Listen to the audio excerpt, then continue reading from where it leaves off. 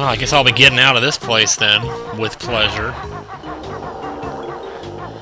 Well, good riddance to bad rubbish. Wait, can you walk on his eyes? His eyes follow you. oh, hi. Can I stomp his eyes? Uh, I'm so mean.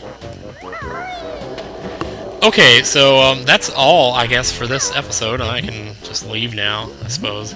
See what the witch says when we leave. She's always got some smart-ass remark especially after you finish a world. So now we have 300 notes, which is awesome. Awesome sauce. Thank goodness I didn't drown. Yeah, I guess your life meter for water, like breathing, will always be 6, even if your maximum life is more than that. See? See, these life things are still sitting out here from that crab that I stomped on the way in. Life is still here. So, pick it up. Yeah, 7 honeycombs. I like it.